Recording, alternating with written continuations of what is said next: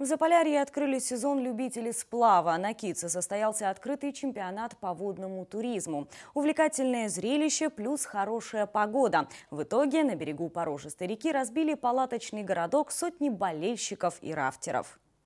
Любопытно, что организаторы чемпионата не любят использовать слово «рафтинг».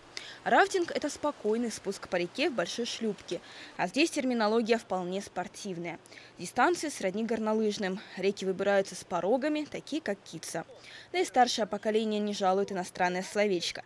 Они не рафтеры, они туристы. У нас команда вообще классная. Видите, видите, Бородатые старые, за 50 лет всем. Во время прохождения дистанции слалом большой соблазн пододвинуть вешку веслом. Но здесь все по-честному. Попал в ворота – молодец. Не прошел испытания – получи штрафные баллы.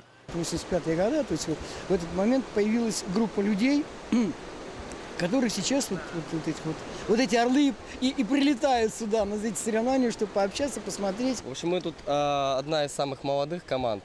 Вот. Если даже мы сегодня не победили, то у нас все впереди. В полной экипировке все спортсмены выглядят здоровяками. Но, как выяснилось, на реке сегодня есть и женщины. Швея. Занима... Ну, в туризме я уже больше 20 лет, а с водным спортом, ну, наверное, более плотно года три. Вот. И кто вас заразил этим увлечением?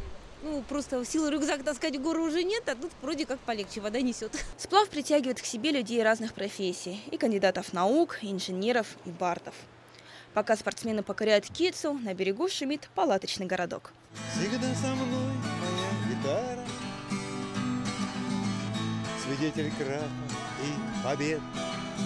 Фотографы спешат поймать уникальные кадры, отдыхающие – солнечные лучи, а новички каждую минуту посвятить тренировкам. Вообще я менеджер, я приехала в прошлом году сюда в гости к сестре, вот, случайно попала вот на такую тренировку, мне понравилось, я приехала сюда, теперь занимаюсь этим.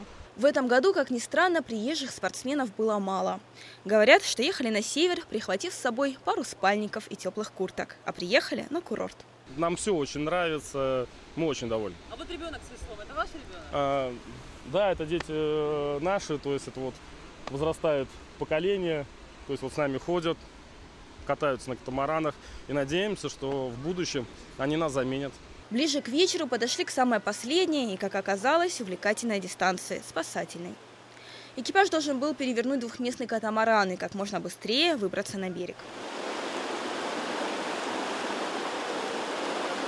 Кому сложнее? Тем, кто барахтается в воде или тем, кто с берега бросает товарища морковку? Неизвестно. Спас конец, называется так просто народе, просто народе называется мор, мор, морковка.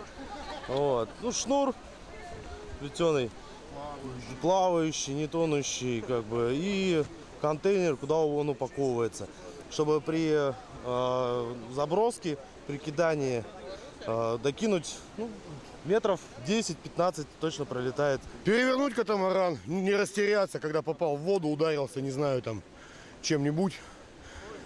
Главное не растеряться и сообразить, что, как, чего, и спастись. Но ну, на этот раз кавдозирским зорам в общекомандном зачете досталось второе почетное место. А победил шестой номер команда «Мурманская ТЭЦ». Бронзу увезли с собой манчегорцы из команды «Сариола». Главное, чтобы воля была к победе, да, как у Высоцкого. Наверное, это правда.